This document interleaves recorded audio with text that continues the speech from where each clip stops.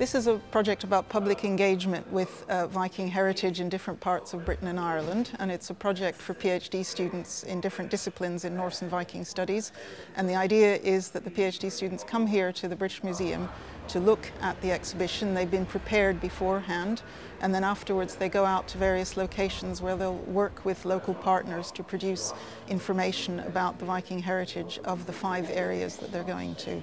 The five areas being uh, Cleveland in the northeast of England, the Isle of Man, uh, the Hebrides and uh, two places in Ireland, Dublin and Cork. We're, we're basically making a trail, a Viking trail of the Isle of Man. So we're especially looking at stone sculpture um, and sort of archeolo archaeological evidence. We're also working with the Children's University where we will be teaching um, a runic workshop and archaeological workshop. We'll be reenacting a burial, the Ballateare burial. so lots of exciting things.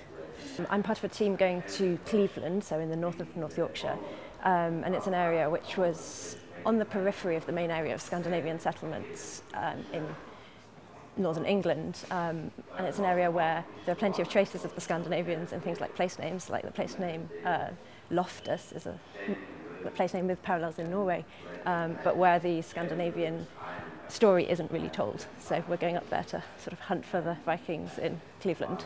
In my view, they were amazing in you know, sort of being global players at a time when we're not thinking about globalization. They went from Baghdad, you know, stuff to the new world. They connected Europe. They connected us in a way that we haven't probably seen before, either as victims or as people who worked with them. So I think, you know, stuff, there's something very important to remember that. And of course, today there is a lot of thinking about identity. Where do I come from? Who am I? people are getting interested in local and regional history.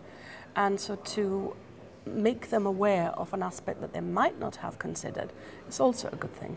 I think it's very important. One of the real challenges with exhibitions is to get information across to a wider public, which is based on current and up-to-date research. And the only way to do that is to have an active dialogue between specialists in the subject and the public through whatever medium we can find.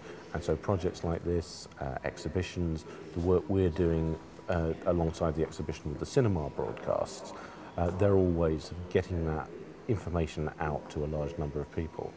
And a lot of the new work is un unfamiliar to many people, although in some cases it's not really that new. Some of this is 10, 20, even 30 years old, but still seen as new and surprising to the non-specialists. So anything that gets it out there is great.